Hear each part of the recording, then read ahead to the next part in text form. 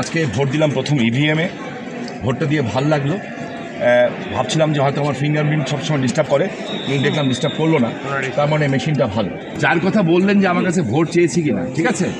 উনি জানেন যে উনি যদি ভোট নাও চান, আমি সবার কাছে ওনার ভোট চাবো।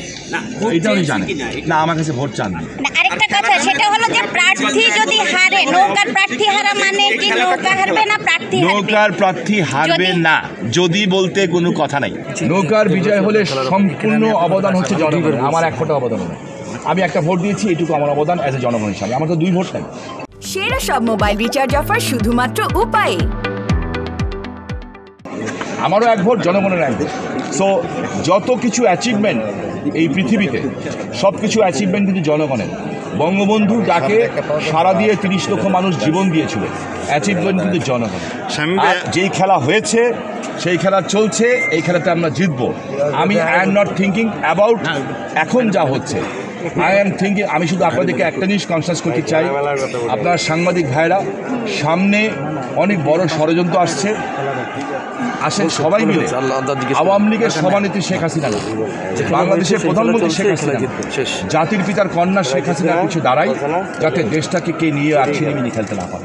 এইটুকুই আমি শুধু আপনাদের কাছে অর্জন করছি thank you very much I love you all হ্যাঁ থ্যাংক ইউ চেঞ্জ করেছেন। বেশ কয়েকবার বা দুবার। এর কারণটা কি আসলে? এর আগে অন্য এলাকায় ভোটার ছিলেন এখন সংসদ সদস্য হিসাবে ওইখানে ভোট দিতে গেছি। আর সিটি কর্পোরেশন হিসাবে এখানে ভোট দেওয়া উচিত। অনেকে আমার বাড়ি থেকে কাউকে প্রার্থী করতে চেয়েছিলেন। এই কারণে আমি আগেই ভোট চেঞ্জ করে নিয়েছিলাম। আমি চাই না যে পলিটিক্স কোনো সময় উত্তরাধিকার সূত্রে হোক। পলিটিক্স যোগ্যতার মাধ্যমে হওয়া উচিত। আপনার বোন সম্পর্কে কোনো পরামর্শ আছে কিনা? যদি দিতে বা হারা এরকম। দেখেন আমার ব্যাপারটা হচ্ছে আমি নৌকার নির্বাচন করেছি। আমি অন্য কাউ নির্বাচন করিনি। আমি নৌকার কথা বলেছি। নৌকা হৃদয়ে রক্তক্ষরণ আছে কষ্ট আছে দুঃখ আছে। তবে আমি একটা জিনিস বুঝি যে আমার শেখ জাতির পিতা কন্যা শেখ হাসিনা পাঁচ বছর আগে একটা মিটিংয়ে বলেছিলেন যে শামীম আমি অ্যাকুরেট কথাটা নীলকণ্ঠী। আমি নীলকণ্ঠী। আমি সব বিষকে হজম করি। So I am a soldier of Sheikh Hasina. আমি ওনার একটা সোলজার যুদ্ধের ময়দানে সেনাপ্রধান যেভাবে নির্দেশ দিবেন সোলজার সেভাবে যুদ্ধ করবে। সেটাই তার কর্ম। উনি আমার যেহেতু নেত্রী, উনি আমার প্রধানমন্ত্রী না, উনি আমার জাতির পিতার কন্যা, উনি আমার আদর্শের প্রতীক। উনি যদি নীলকণ্ঠী হতে পারেন, আমারও নীলকণ্ঠ হওয়া চেষ্টা করা উচিত। বাট আমি তো জাতির পিতার সন্তান না। ওনার মতো তো কষ্ট সহ্য করার মতো ক্ষমতা আমার নাই। এই কারণে হয়তো বলে ফেলি যে অনেক কষ্ট লাগছে, কষ্ট লেগেছে। আমি শুধু একটা কথাই বলব, যারা কষ্ট দিয়েছেন এবং এখনও যাই হোক, আল্লাহ রাবুল আলমিন যাতে তাদেরকে হেদায়েত করেন। এবং তাদেরকে সুশিক্ষায় শিক্ষিত করেন।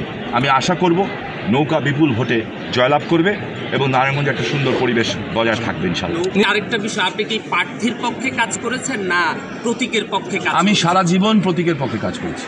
তবে একটা জিনিস আমি মনে করি নির্বাচনের আগে আমরা সবাই মানুষের কাছে যাই গরিব মানুষের কাছে যাই এবং গরিব মানুষের সাথে ছবি তুলি।